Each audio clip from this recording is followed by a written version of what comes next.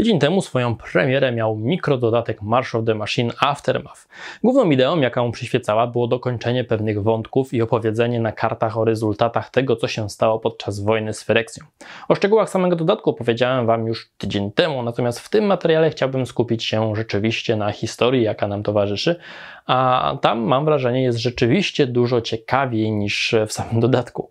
Wygląda bowiem na to, że multiverse faktycznie zmieniło się nie do poznania, a konsekwencje wojny z Fereksją będziemy odczuwać przez resztę naszych magicowych historii.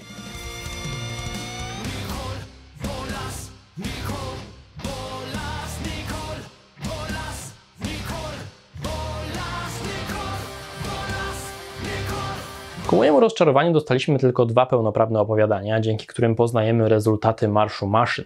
A moim zdaniem trochę mało i mało w tym tam jest mięsa, ale spróbuję dla Was wycisnąć z nich całą esencję. Pierwsza z nich koncentruje się na Nisie, która dochodzi do siebie po tym, jak dzięki Melirze, Kai, Teferiemu i Karnowi, a dokładnie Iskrze Wensera, zawartej w Karnie, udało się ją obudzić z fyreksjańskiego snu i usunąć z niej metal. Kiedy wszyscy świętują zwycięstwo nad Elesznorn, elfka kopie grób dla swojego metalowego pancerza, który udało się z niej usunąć. Mierańczycy i mieszkańcy Zalfiru szykują się do nowego życia, jakie czeka ich na tym skrawku Dominarii, który stał się teraz pełnoprawnym planem, ulokowanym w punkcie, który kiedyś był nową Fereksją. Co ciekawe, nad głowami jego mieszkańców nadal świeci pięć słońc Mirrodinu. Animistka nie ma jednak powodu do świętowania. Nie może się pogodzić z tym, co zrobiła, kiedy była pod wpływem Fereksji. Mało tego. Spotkał ją dużo dotkliwszy cios. Okazało się, że straciła swoją iskrę wędrowca. I to nie tylko ona. Z racji tego, że opowieść snuta jest e, z jej perspektywy, dowiadujemy się jedynie, że nikt nie ma pewności, co było tego powodem, ale najprawdopodobniej w wyniku działań Realmbreakera, który rozdarł Blind Eternities, oraz wybuchu Silexu, który Elspeth zdetonowała również będąc w ślepych wiecznościach, multiverse zostało porozrywane i jest pełne dziur. E, no i podobnie tak jak e, w czasie mendingu, tak i teraz dokonało pewnego rodzaju samoleczenia i korekcji, korzystając z iskier wędrowców. Wiemy na pewno, że w podobny sposób zniknęła iskra Kofa, Teferiego. Karn poświęcił swoją już wcześniej.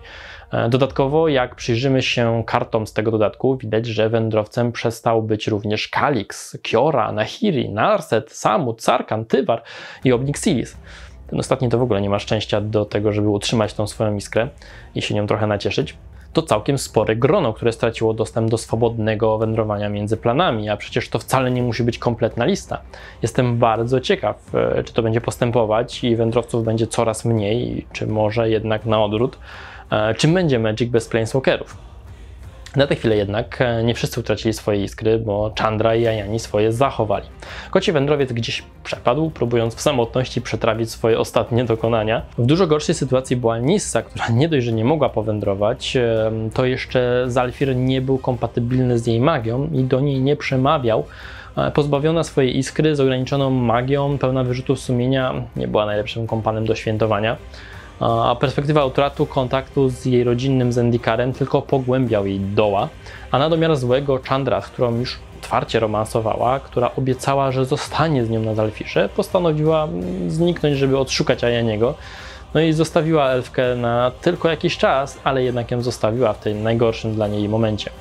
Pogrążona w czarnych myślach, animistka spędzała większość czasu samotnie, no i tak pewnego dnia medytując koło bardzo szybko kiełkującego drzewa, które rosło z nasionka wren, e, wydarzyło się coś bardzo dziwnego. Tuż koło niej otworzył się portal, z którego do Zalfiru przeszła jakaś maszkara.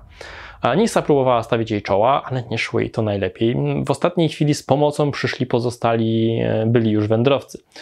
Nawet razem Karn Teferi, Kof i Nisa mieli problem, żeby stawić czoła bestii, której towarzyszyły potężne wyładowania elektryczne. Ta jednak nie podjęła rękawicy i uciekła gdzieś w dżunglę. Portal pozostał otwarty i przyzywał Nissę znajomą pieśnią innych światów. Nikt jednak nie wiedział, co tak naprawdę się tam kryje i nikt nie miał odwagi przez niego przejść. Mieli zresztą dużo pilniejsze zadanie, trzeba było bowiem odnaleźć niebezpiecznego stwora i go spacyfikować, zanim wywoła większe szkody w i tak już poharatanym i zdziesiątkowanym Zalfirze. Ranna Nissa została w obozie, kiedy reszta ruszyła go tropić. Ten jednak wytropił Nissę i zaatakował bezbronną wioskę. Elfka postanowiła skupić jego uwagę na sobie i odciągnąć go od cywilu. Nadal była bezsilna w walce z nim i ponownie, gdyby nie pomoc z zewnątrz, przypłaciłaby to starcie życie. Tym razem w sukurs przyszła jej Chandra, która próbowała swoim sposobem przepalić się przez bestię. Możecie sobie wyobrazić, że Nissa nie do końca była wdzięczna za tą pomoc, bo okazało się, że elfia bohaterka po raz kolejny w bardzo krótkim odstępie czasu okazała się bezużyteczna. Mimo to próbowała wykorzystać swoją słabszą magię, żeby wesprzeć starania Chandry. A nieznana bestia z nieznanego świata nic sobie z tego nie robiła. A ba, nawet udało się w niej wchłonąć część energii i rozrosnąć do jeszcze większych rozmiarów. E, Niż się udało się zanimować pobliski Baobab, ale ogień Chandry podpalił wszystko i nic z tego tak naprawdę nie wyszło. E, obie zostały zmuszone do ucieczki, a jedynym sensownym pobliskim schronieniem okazała się wyrwa po korzeniach gigantycznego Baobabu, e, no i to tam obie panie miały okazję podzielić się spostrzeżeniami na temat swojej relacji. Doszło do błyskawicznej terapii Nissy i przepracowania jej traum. No i obie wydawać by się mogło zrozumiały, co robiły źle i co powinny robić, by się bardziej wspierać. A z tego porozumienia wyszło dużo więcej dobrego niż poprawa wzajemnej nadszarpniętej relacji. Nisa zdołała zapanować nad resztkami swojej magii i skomunikować się wreszcie z istotą z Alfiru. Podłączyła się do lokalnych leyline'ów i zdołała zrozumieć naturę bestii, która okazała się być po prostu burzowym żywiołakiem napełnionym mocą. E, wsparła Chandrę i wspólnie doprowadziły żywiołaka do wrzenia i odparowały go, tworząc z niego chmurę, która zalała sawannę deszczem. Stwór, który miotał się do tej pory w panice po Zalfirze, nie wiedząc gdzie jest i co ma robić, zdawał się być również dość zadowolony z obrotu spraw.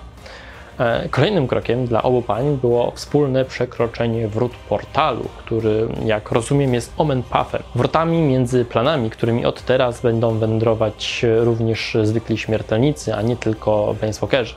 Niestety nie dowiadujemy się, dokąd prowadził, ani na jakich zasadach będą te wrota działać, co pozostawia bardzo dużo możliwych interpretacji. Fakty poznamy pewnie w kolejnych dodatkach, ale osobiście podoba mi się to o tyle, że z jednej strony otwiera to bardzo dużo ciekawych furtek dla fabuły, a z drugiej nakłada nowe ograniczenia. Kontrolowanie omen puffów może być cenne, a ilość bezkarnie grasujących po multiverse istot wcale nie musi wzrosnąć. E, drugim opowiadaniem, jakie dostajemy, jest to dotyczące nikogo innego jak Nahiri. Pogrzebana pod ruinami Skycliff i Tomancerka przeżyła. Mało tego, wygląda na to, że eksplozja Halo, która zaserwowała Linvala, e, oczyściła ją z oleju i pozwoliła nie poddać się wpływom snu, na który zapadli wszyscy inni sfrykcjonizowani. Nahiri spędza kolejne tygodnie próbując odkopać się z ruin latającego miasta, a ma potężne wyrzuty sumienia i rośnie w niej silne przekonanie, by poświęcić swoją energię na oczyszczanie planu sfyreksjańskiego metalu, który w sumie sama tutaj sprowadziła.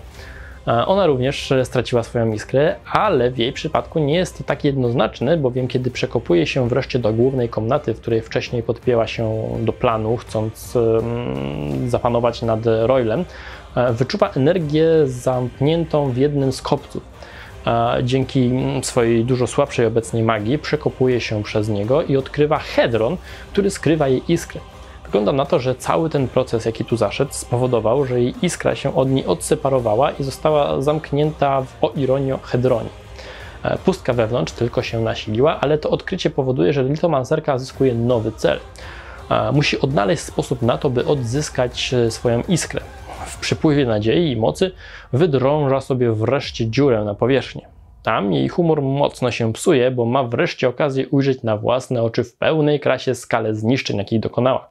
Jak okiem sięgnąć, cały plan pokryty jest warstwami fyreksyjskiego metalu. Buduje się w niej silne postanowienie, że spędzi tyle czasu, ile będzie trzeba na usuwaniu tej substancji z Zendikaru. I rozmyślania przerywa wrażenie, że ktoś pojawia się tuż za nią. Od razu wyczuwa, że to wędrowiec.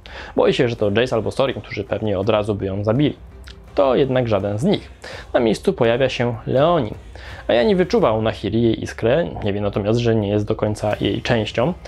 Streszcza je więc wydarzenia mające miejsce w multiverse i próbuje przekonać do tego, by do niego dołączyła, by wspólnie mogli odpokutować za swoje grzechy i oczyścić multiverse z resztek Frexi. A Jani zwiedzał przez ostatnie dni plany i na własne oczy widział efekty i skalę zniszczeń. Przekazuje jej również informacje o tym, że Luka, Tamio, a prawdopodobnie również Jace i Wraska nie żyją i że tylko oni dwoje zachowali iskrę. Jak rozumiem, Jani próbuje wywołać poczucie winy i je przemówić do rozsądku przedstawicielce rasy Kor, natomiast jego argumenty nie bardzo do niej przemawiają. Po pierwsze, Nahili nie wie, jak zginęli pozostali generałowie Elesznorn. Zaczyna nawet podejrzewać, że to sam Ajani ich zgładził, po drugie, ma żal do pozostałych wędrowców o to, że wciągnęli ją w tą całą fyreksjańską kabałę, a największy żal ma właśnie do Ajaniego, bo gdyby nie to, że on jako pierwszy przeszedł na stronę Fyreksji i zabił Jaję, to bardzo możliwe, że do niczego takiego by nie doszło. Kiedy więc Ajani próbuje do niej rozsądnie dotrzeć, Nahili zaczyna się nakręcać i buzować ze złości, szykując się do ataku i podjudzając Leonina. Kiedy słowa już w zasadzie przechodzą w czyny, pierwszym co robi Nahiri jest próba stworzenia ściany skał, która zatrzyma pędzącego kociego wojownika. E, struktura, na której stoi, nie wytrzymuje tego eksperymentu i Lity Monserka zapada się kilkanaście metrów w dół, tracąc e, przytomność. Budzi się ciężko ranna, nadziana na fereksjański szpikulec, e, ale udaje się uwolnić i szuka swojego hedrona. Ten jednak w wyniku upadku się roztrzaskał, a jej iskra przepadła. Nigdzie nie ma też Ayaniego, który prawdopodobnie wyczuł znikającą iskrę i uznał Nahiri za martwą, bo wędrował dalej. Jedna z najstarszych istot w multiverse, jedna z ostatnich przedmendingowych wędrowców, Nahiri, znowu jest wściekła i całą swoją złość kieruje na wędrowców, oskarżając właśnie ich o całe zło. Przecież gdyby nie wędrowcy i ich pycha, Eldrazi prawdopodobnie nigdy nie trafiliby na Zendikar. Fyreksjanie nie byliby w stanie wędrować i stworzyć Realmbreakera. Większość tragedii, jakie dotyka multiverse, dałoby się uniknąć. Skoro sama nie może już wędrować, postanowiła zadbać o to, by nikt już nie wędrował na Zendikar. Zawsze uważała się za obrończynię tego planu i teraz planowała nią właśnie zostać, broniąc go przed jakimikolwiek wędrowcami, którzy chcieliby się tu pojawić. No i na tym kończy się drugie z opowiadań. Mnie się oba w sumie podobały, ale mam potworny niedosyt. Bardzo chciałbym wiedzieć, co działo się w innych miejscach multiverse i jakie są tak naprawdę konsekwencje Omenpathów. Co się stało ze wszystkimi tymi śpiącymi Fyreksjanami? Przecież muszą ich być miliony. A Aftermath miał zamknąć i wyjaśnić wiele wątków, a moim zdaniem tylko zaostrzył apetyt i niewiele ostatecznie nam opowiedział. E, przyglądając jeszcze same karty, możemy się przynajmniej domyślić, kto przeżył rzeź w Multiverse. Nif Mizet, e, Danita, Jorael, Arni czy Sigarda wyglądają na całych i zdrowych. E, potwierdza się również informacja o śmierci Kenriffów, czyli rodziców Rowan i Willa, chociaż o nich samych niczego się nie dowiadujemy. To może być o tyle ciekawe, że następny pełnoprawny dodatek będzie miał miejsce właśnie na Eldraine. Układ sił tam zdecydowanie się zmienił. Jeśli rodzina królewska przepadła, dodatkowo Ayara najpewniej śpi, to ciekaw jestem, kto tym razem pojawi się na horyzoncie. Ostatnio jak tam byliśmy, problemem był Oko i Garuk. Co z ich iskrami? Dobrze byłoby wiedzieć również, jaki los spotkał Quintoriusa, bo jest to potencjalnie pierwszy wędrowiec nowej ery. Pozostaje nam też mnóstwo potwieranych wątków. Zobaczymy, który z nich zostanie podjęty i jakie nowe zagrożenie pojawi się na horyzoncie. Wiecie, Fyrekcja wylała się na całe multiverse. Dlaczego miałaby oszczędzić Meditation Realm? Może czas na to, żeby wyjąć Bolasa i Ugina z szapy? Może Bolas już nie jako wędrowiec, ale potężny smok mógłby takim omenpafem gdzieś uciec? Po co pokazali nam Geadron Dihade czy Braids? Po co wspominać o Kerweku? Gdzie jest Ravenman? Czym jest ten cały dziwny ozolit? Gdzie jest Kasmina, Sorin, Garuk? Deseret obiecał przypomnieć o sobie, kiedy kurz po bitwie opadnie. A co jeśli stracił iskrę? A, a może coś zupełnie innego, coś nowego się wydarzy? E, przypominam też, że na Inistrackim Księżycu smacznie sobie śpi Emrakul. Tyle możliwości. Będziemy musieli poczekać na rozwinięcie opowieści przynajmniej do września. Tymczasem dzięki za Waszą uwagę. Do zobaczenia za tydzień. Cześć.